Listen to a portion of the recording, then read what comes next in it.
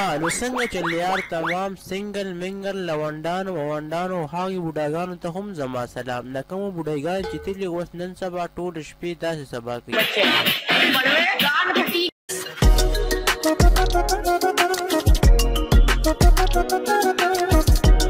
که تاسو دې دنیا کې سوچ وکړئ نو په دې دنیا کې مختلف قسمه خلک شته مثلا څوک عالمان، ډاکتران، فروفیسران، انجینران او استادان خلک هم شته او که یو طرف ته په دې دنیا کې څه داسې قسمه خلک شته نو بل طرف ته هم په دې دنیا کې د دې خلکو د ریکشن مطابق څه نور خلک هم شته مثلا کلا، دوس، بې غیرته او کونیان خو اوس په دې لنډ وخت کې د پاکستان یو داسې قسمه کامل ترین کس په دې کټګرو کې یو داسې قسمه نوې کټګري پورټل لاري حلکو لپاره کم خلک چي د الکانو شوق کوي.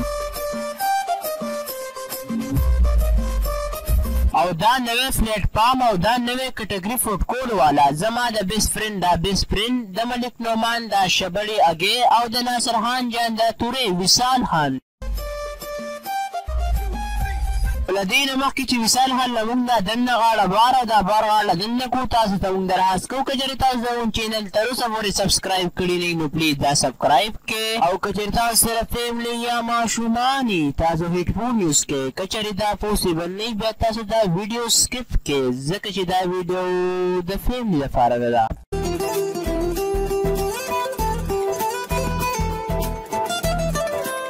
ها اوس راځو د ویډیو باندې په کوم کې ځای له راس کومه احساس کړی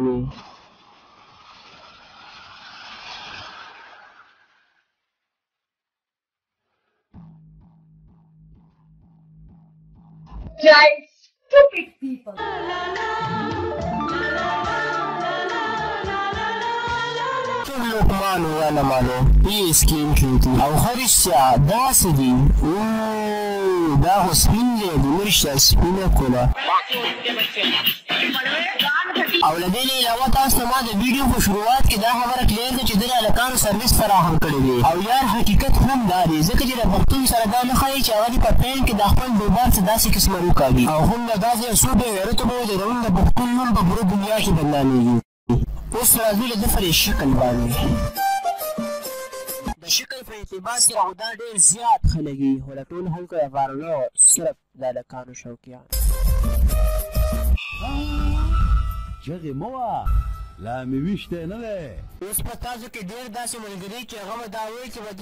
سلو زیات ویوز راځي. نو د هغې جواب دا دی چې زموږ دا پښتانه استعمال کوي د کلیک بیک هغه داسې چې دا به خپل ویډیو له تبناین څخه په داسې قسمه ورکړي مثلا الوچې د وصال کو دھوکا دیا الوچې کتنی بدل ہوئی په فیسبوک د وصال خان او د الوچې لایف فاده الوچې نه دا به د الوچې نه سم د انکل مجبور له برمې هغه کیسې دا لیکي چې نه روزي او نه خلاصیږي.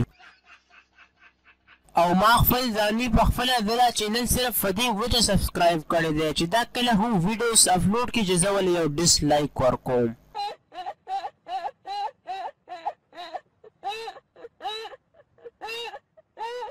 او له دې نه علاوه دا په خپل ویډیو کې د یو شي ذکر ډیر زیات کوي پته نه چې دا به د چا دننه او بار والي چې دین اوس نه کلاریږي